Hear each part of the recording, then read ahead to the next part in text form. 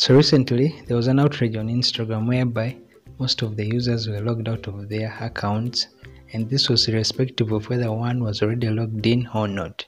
But the challenge is that most of those who had two-factor authentication set up are now required to enter a backup code so as to be able to log in. The backup code which you can only get if you had saved it already. And even those who didn't have the backup codes set up as their two-factor authentication are still facing the same problem and therefore I will show you how to log into your Instagram account without having to enter a backup code.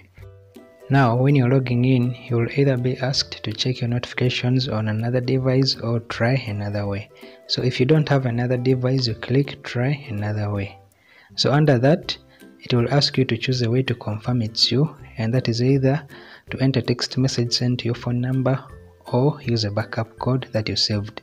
So if you don't have the two options, then you can select backup code.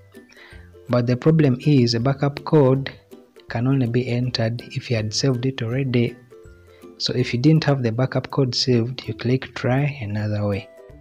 So when you click on that, you'll be given another option to go to the account recovery page. So you click on go to account recovery and then you click continue. So from there, you choose a way to confirm that you own the account. So you select the first option that yes, take a selfie video to confirm my account.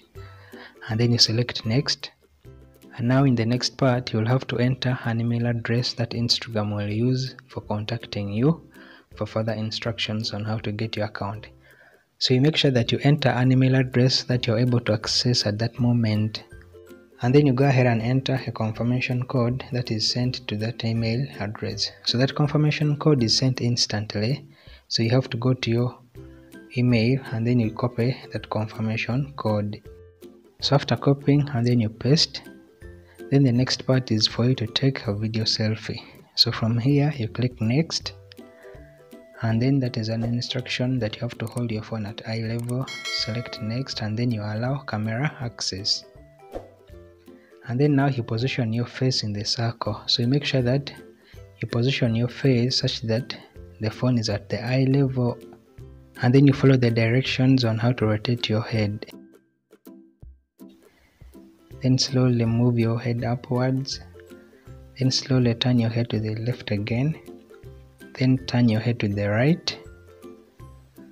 And then finally you can submit your video selfie so after submitting then you have to wait for an email from instagram to confirm receipt of your video selfie.